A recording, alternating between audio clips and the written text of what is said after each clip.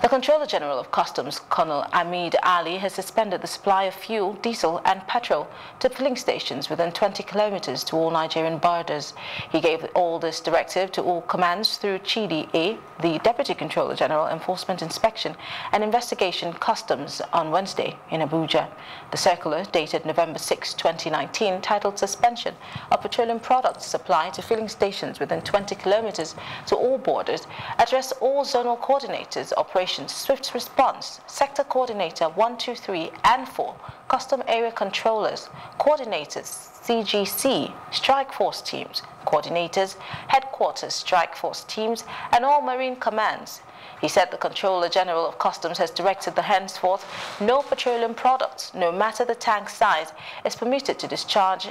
to be discharged in any filling station within 20 kilometers to the border.